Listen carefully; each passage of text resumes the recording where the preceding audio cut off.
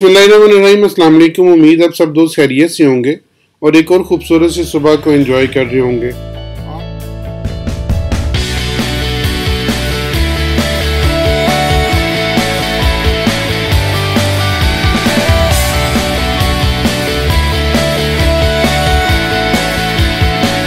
आज हम देखेंगे कि ये जो हफ़्ता है करंट हफ़्ता, जो कि 29 मई से शुरू होगा और 2 जून तक चलेगा। जिसमें तीन दिन मई के होंगे और दो दिन जून के होंगे, ये हफ़्ता किस तरह से मूव कर सकता है? कौन कौन सी चेंजिंग इस हफ़्ते में आपको नज़र आ सकती हैं? और इस हफ़्ते में मार्केट की पोजीशन क्या होगी? और कौन कौन सी चीज़ें मार्केट पे इफ़ेक्ट करेंगे? इन सब पे हम डिस्कस करेंगे। अगर आप हमें ज्वाइन करना चाहते हैं तो नीचे एक आईपी का लिंक है। उस लिंक पे क्लिक करके अपना अकाउंट क्रिएट कीजिए और उसके बाद आप हमें व्हाट्सएप कर दें। उस अकाउंट को जो आप क्रिएट करेंगे तो हम आपको शामिल कर लेंगे अपने साथ इस तरक्की के सफ़र में और इनशाला आप हमारे साथ चलते चले जाएँगे। अब देखते हैं कि इस वीक में, इस मंथ में मार्केट टेक्निकली पहले किस तरह मूव कर रही है आपका गोल्ड किस तरह मूव कर रहा है और उसके बाद फिर हम न्यूज़ का असर इस पर ढूँढने की कोशिश करेंगे कि न्यूज़ का असर क्या हो सकता है। लॉन्ग बियरिश कैंडल है। निचली साइड पे कोई इसकी विक नहीं है। कुछ नहीं, अभी शेडो बहुत कम है। लेकिन अप साइड पे का शेडो बहुत बड़ा है। अप साइड की कैंडल जोन सी ओपनिंग से लेकर क्लोजिंग तक, ये भी पिछली कैंडल की नस्बत बड़ी है। जिससे लग रहा है कि मार्केट के अंदर अभी सेलिंग प्रेशर बरकरार है और ये सेलिंग प्रेशर बहुत तेज़ी के साथ बढ़ता हुआ चला जा रहा है। लेकिन ये जो हमारा एरिया है, क्या इसको मार्केट तोड़ पा रही है कि नहीं तोड़ पा रही? और मार्केट की ये जो ट्रेंड लाइन थी जिसने यहाँ पे ऑनर किया, यहाँ पे ऑनर किया, यहाँ पे ऑनर किया, यहाँ पे ऑनर किया क्या इस पॉइंट को ऑनर कर पाएगी या नहीं कर पाएगी? इन सारी बातों को हम डिस्कस करेंगे और लेकिन इसके साथ ग्रेजुअली हम नीचे चलते हैं। वीक के ऊपर जाके सूरत देखते हैं क्या है। वीक के ऊपर भी डेफिनेटली सेम सूरत होनी चाहिए कि वीक के ऊपर भी एक आपकी लॉन्ग बीरिज कैंडल निचली साइड पे आपको बनती हुई नज़र आ रही है। और ये लॉन्ग बीरिज कैंडल क्या चलेगी आगे? या भी यहीं पे रुक जाएगी। क्या ये वाला जो पॉइंट जहाँ पे मार्केट इस वक्त मौजूद है, और ये एक ट्रेंड लाइन है इसकी, पुरानी वाली ट्रेंड लाइन जिसने यहाँ पे भी ऑनर किया था, ये भी ऑनर किया, ये भी ऑनर किया, इसके बाद क्या इस पॉइंट को ऑनर कर पाएगी या नहीं कर पाएगी? सिर्फ़ देखने की बात है, जब यहाँ पे मार्केट ने ऑनर किया था तो यहाँ पे वापसी का सिग्नल था। जब यहाँ पे मार्केट ने ऑनर किया इस लाइन को तो वापसी का सिग्नल था। लेकिन अब यहाँ पे चूँकि डाउन साइड पे आ रही है तो क्या ये इसको ब्रेक करेगी? और ब्रेक करके इसको रीटेस्ट करके फिर वापस जाएगी, यहीं से उठ जाएगी। अब ये वाला जो वीक है, ये इसका बड़ा क्रिटिकल होने वाला। क्या इस वीक को यहीं से वापस उठ जाना चाहिए, इसी पॉइंट से? या जहाँ पे इसने क्लोजिंग दी है, यहीं से वापस उठना चाहिए थोड़ा सा नीचे आके तो फिर इसको वापस जाना चाहिए? ये हम आगे जाके मजीद देखते हैं, लेकिन हमें इसको मजीद नीचे लेके जाना पड़ेगा। और नीचे ये चार घंटे के ऊपर हम जाएँगे। और चार घंटे पे जाके हम इसके मजीद टेक्निकल्स को समझने की कोशिश करेंगे। आपको याद होगा कि मैंने आपको पहले बताया था कि ये वाला एक जो लेवल इस वक्त मार्केट के पास है, ये बहुत क्रिटिकल इस वक्त लेवल है मार्केट का। और ये लेवल कौन सा है? 1937 का।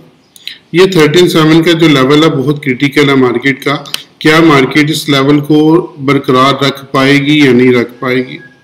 ये आज का इवन हफ़्ता, जो करंट हफ़्ता ये डिसाइड करेगा, क्योंकि 1937 सबसे क्रिटिकल इस वक्त मार्केट का लेवल है। अगर मार्केट इसको ब्रेक करती है तो फिर मार्केट जो सी 1926 की तरफ़ बढ़ जाएगी, और उसके बाद फिर 1900 की तरफ़ बढ़ जाएगी। लेकिन इस पॉइंट पे मार्केट को ऑनर करना चाहिए, और ऑनर करके फिर ऊपर जाना चाहिए, क्योंकि अगर हम एक हॉरिजेंटल लाइन यहाँ पे खींचे आपके सामने एक सिंपल सी ओरिजेंटल लाइन में सारी चीज़ें कोशिश करता हूँ कि आप लोगों के सामने ही करूँ, ताकि आप लोगों को इसका क्लियर हो जाए कि कहाँ तक मार्केट नीचे जा सकती है कि मार्केट के बाद कौन कौन से पॉइंट हैं जहाँ जहाँ पे मार्केट रुक सकती है। एक मैंने आपके सामने एक लाइन क्रिएट की है, जहाँ पे ये देखें पीछे बहुत अरसे तक मार्केट यहाँ पे रजिस्ट हुई है। यहाँ पे रजिस्ट हुई है, यहाँ पे रजिस्ट हुई है, यहाँ पे रजिस्ट हुई है। फिर यहाँ पे रजिस्ट हुई है, लेकिन जब से इस एरिया में दाखिल हुई है, इसने इस पॉइंट को तोड़ा नहीं है। मार्च 20 के बाद जब यहाँ पे एंटर हुई है तो फिर इसने इसको यहाँ पे रीटेस्ट किया और उसके बाद फिर रीटेस्टिंग में ऊपर ही चलती जा रही है। निचली साइड पे नहीं आई। लेकिन यहाँ पे जो निचली साइड पे अगर आप देखें तो ये जो ट्रेंड लाइन आपकी चलती आ रही है, ये ट्रेंड लाइन भी मार्केट को मुसलसल ऑनर करती जा रही है। ये मार्केट को ऑनर कर रही है, ये मार्केट को ऑनर कर रही है, ये मार्केट को ऑनर करती हुई जा रही है। अगर हम इसको रिसेंटली अभी देखें कि और इस पर हम कोशिश करें कि फिबोनाची का लेवल लगा के भी चेक कर लेते हैं, ताकि फिबोनाची के लेवल से भी ये चीज़ें क्लियर हो जाए। क्या मार्केट यहाँ पे रुकेगी? मार्केट मज़ीद नीचे आएगी? तो इसलिए हम एक ये भी लेवल लगा के अपनी मज़ीद तसली कर लेते हैं कि क्या मार्केट को कहाँ तक जाना चाहिए। इसको हम टॉप से लेकर और बॉटम तक, जो इसका रिसेंट बॉटम था, यहाँ तक इसको ले चलते हैं। और यहाँ पे देखते हैं कि मार्केट अब यहाँ पे क्या करने वाली है। तो अगर आप ऊपर से नीचे देखें तो मार्केट का जो रिट्रेसमेंट लेवल है, इस पॉइंट पे तकरीबन 51 परसेंट है। कि 51 परसेंट मार्केट तकरीबन ऊपर से नीचे तक रिट्रेस हो चुकी है। तो ये भी एक साइन है कि मार्केट यहाँ से ऊपर जाने का ज़्यादा चांसेस रखती है। ये रिट्रेसमेंट लेवल भी जो सा 51 का आपको नज़र आ रहा है, ये रिट्रेसमेंट लेवल भी मार्केट का यहाँ पे एंड होता हुआ लग रहा है। तो यहाँ पे अगर आपको ट्रेड मिली तकरीबन आपको फोर से फाइव स्टार ट्रेड मिल सकती है। एक तो आपकी ये वाला, आपकी एक ये लेवल है, जहाँ पे मार्केट रुक रही है। और सेकंड आपका ये लेवल है जिसको आप स्पोर्ट कहते हैं, ये स्पोर्ट का लेवल भी मार्केट को रोकने की कोशिश कर रहा है। और ऊपर से जो फिब का लेवल है फिबोनाची का, वो भी यहाँ पे मार्केट को रोक रहा है। तो यहाँ पे थ्री स्टार तो ये आपके बनते हैं। थ्री स्टार के करीब मार्केट जो है वो बन रही है। लेकिन अब अगर नेक्स्ट देखें, हमें मजीद यहाँ पे कैंडल्स क्या कह रही हैं तो उसके लिए हम थोड़ा सा और मजीद से क्वीज कर देते हैं उसको। तो अगर मैं कैंडल्स के ऊपर जाऊँ तो चार घंटे के ऊपर ये कैंडल देखें। अब ये पाँच चौथा लेवल मैं आपको बता रहा हूँ। मैं आपको पहले तीन स्टार इसके पूरे करके दे चुका हूँ। और ये आपका इसका फोर स्टार है कि ये जो कैंडल है, ये रिवर्सल की कैंडल है, कि चार घंटे के ऊपर उसने रिवर्सल की कैंडल भी बनाई है। और ये वाला जो सा लेवल है, इसको मार्केट ने तोड़ा नहीं है, बल्कि अब मार्केट इसके ऊपर ही ट्रेड कर रही है। तो यहाँ पे रिवर्स हो रही है, ये रिवर्सल का साइन दे रही है, यहाँ पे नीचे इसने शेडोज छोड़े हैं, ये नीचे शेडोज छोड़े हैं, ये शेडोज जो से वो बाइंग का प्रेशर शो कर रहे हैं कि यहाँ पे मार्केट में बाइंग आई है। तो ऑलमोस्ट देख लें, यहाँ पे फोर स्टार हमने यहाँ पे अपने हासिल कर लिए हैं कि यहाँ पे अप साइड के लिए हमें फोर स्टार मिल रहे हैं। फोर स्टार के करीब हमें ये ट्रेड मिल सकती है। अब यहाँ पे हम अपने कुछ टेक्निकल्स मजीद भी लगा सकते हैं। उसके लिए आप अपना कोई भी इंडिकेटर यूज़ कर लें कि वो इंडिकेटर मार्केट में क्या कह रहा है। अब ये जो इंडिकेटर लगा हुआ है मूविंग एवरी नाइन का ये इंडिकेटर अभी इसको अगर ब्रेक करके मार्केट ऊपर चली जाती है तो ऑलमोस्ट ये एक फाइव स्टार ट्रेड आपकी बन जाएगी। फाइव स्टार ट्रेड यहाँ पे बन जाएगी। ये एक सिनारियो है गोल्ड का आ, इन दिनों में। देखिए कितना क्लियरली मैंने आपको सारी चीज़ें बताई हैं, लेकिन इस हफ़्ते में जो न्यूज़ है, वो कौन कौन सी हैं? वो न्यूज़ कौन कौन सी असरअंदाज होने वाली हैं? उनमें जो सैटरडे तो बिल्कुल सॉरी मंडे जो सा है, वो पुरस्कून है, क्योंकि मंडे को कोई न्यूज़ नहीं है। अगर आप मंडे को देखें तो उसकी कोई न्यूज़ नहीं है। अलबत्त ट्यूसडे को एक न्यूज़ है, लेकिन वो लो लेवल की है, और इसलिए हम इस पर कोई इफ़ेक्ट नहीं करेगी। उसको हम कंज्यूमर कॉन्फिडेंस कहते हैं। सी सी लिख देता हूँ आसानी के लिए इसको कंज्यूमर कॉन्फिडेंस है, वो ट्यूसडे को है। लेकिन वेडनेसडे को बड़ी न्यूज़ है ADP non farm employment change है। नॉन एनएफपी है। नॉन फॉर्म एम्प्लॉयमेंट चेंज है। और उसके बाद दोबारा देखें थर्सडे वाले दिन, उस दिन भी न्यूज़ के दिन में सिर्फ़ एक दिन न्यूज़ नहीं है।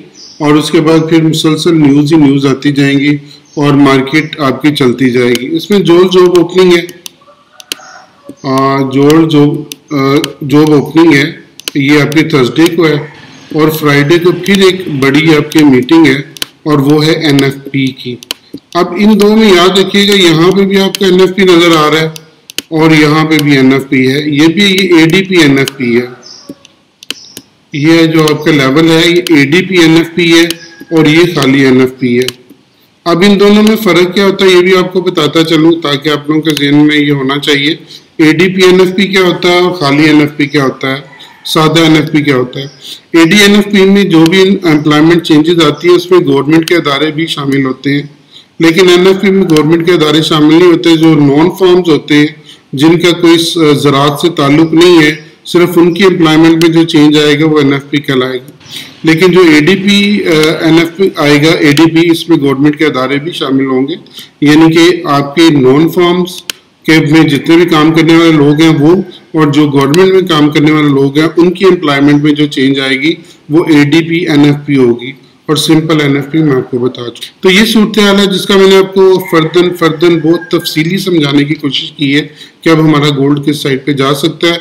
और इसमें क्या क्या चेंजिंग आ सकती है। अब चलते हैं यूएस ऑयल की तरफ़ और एक नज़र यूएस ऑयल को देखते हैं क्या यूएस ऑयल जो सा वो यहाँ पे रुकेगा यूएस ऑयल कहाँ पे जा रहा है। यूएस ऑयल यहाँ पे रुकेगा या कहाँ पे जाएगा, आपको ये लेवल याद होगा। मैंने आपको जो पिछली वीडियो थी, उस वीडियो में क्लियर बताया था कि अब यहाँ पे यूएस ऑयल रुकता हुआ महसूस हो रहा है और अगर यहाँ से उठेगा तो 73.50 तक यूएस ऑयल आपका दोबारा इजीली चला जाएगा और अब उसकी तरफ़ बढ़ रहा है। इस वक्त 72.38 पे है 83 पे है।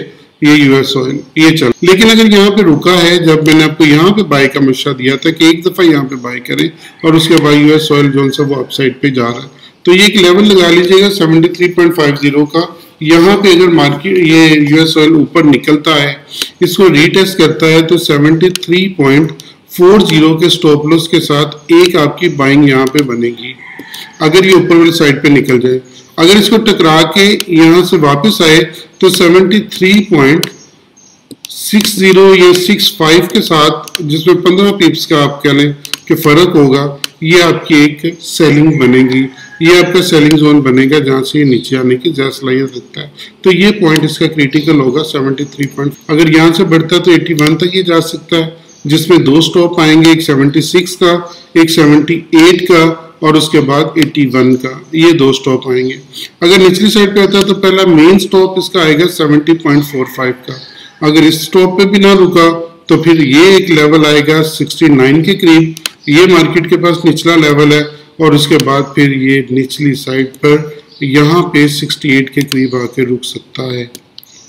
तो ये अपसाइड की और डाउन साइड के लेवल्स मैंने आपके साथ क्लियर कर दिए और एक बार याद रखिएगा जैसे जैसे गोल्ड ऊपर जाएगा वैसे वैसे आपका ग्रेजुअली ऑयल भी नीचे आएगा।